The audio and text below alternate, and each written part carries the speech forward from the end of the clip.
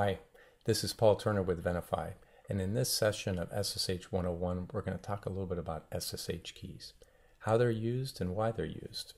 So let's get started. Here we've got Alice. She's an application administrator and she needs access to server 1. She's going to be doing some administration on server 1. And Bob, who's the administrator for server 1, he's going to go ahead and set up SSH on there so that when she logs in, she can log in securely so her password's not seen over the wire. When he sets up SSH on the server, it creates a public and private key pair. And that's to identify the server and enable secure communications to and from the server. So now when Alice connects, what's going to happen is that the server is going to return its public key. And the first time that uh, Alice connects, her SSH client is actually going to display that key for her and say, hey, this I just received this from server 1, haven't connected up to server 1 before, is this the correct public key for server one? And what Alice should do is she should double check with Bob and say, okay, let's make sure this is a correct public key. Because when she types in yes or whatever response she needs to give to acknowledge that key, it permanently stores that key in a file with the name of the server. So it's always trusted. She won't be asked for that again. So it's very important, obviously, that she correctly identifies that public key.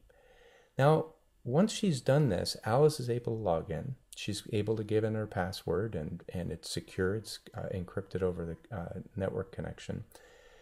But after a while, she says, You know, I log into about 50 servers with SSH. It's a bit of a pain. She does a little bit of Googling. She figures out, hey, I can create my own key pair. So this is different than the server's key pair. It's a, a key pair that's specific to her, a public and a private key. And with this, if Bob has given her permissions, and we'll come back to this in a later session, if he's given her permissions to do so, she can take and place her public key into her account in a file called an authorized keys file.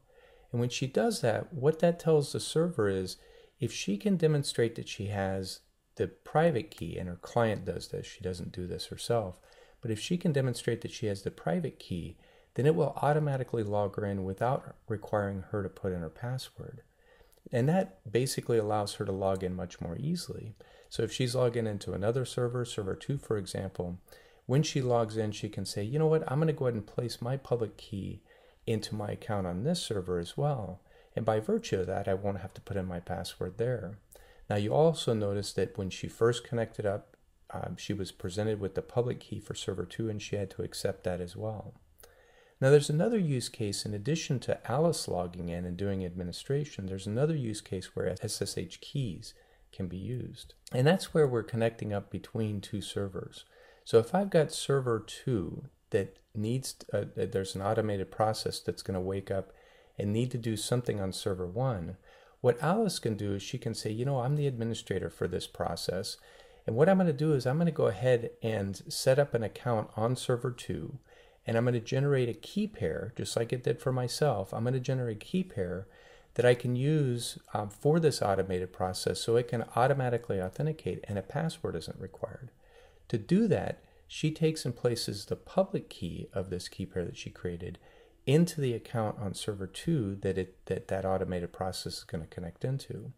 Now you'll notice here that what's happened is that when she first set up this connection, she also had to accept server 1's public key on this server for this particular account so that it's trusted.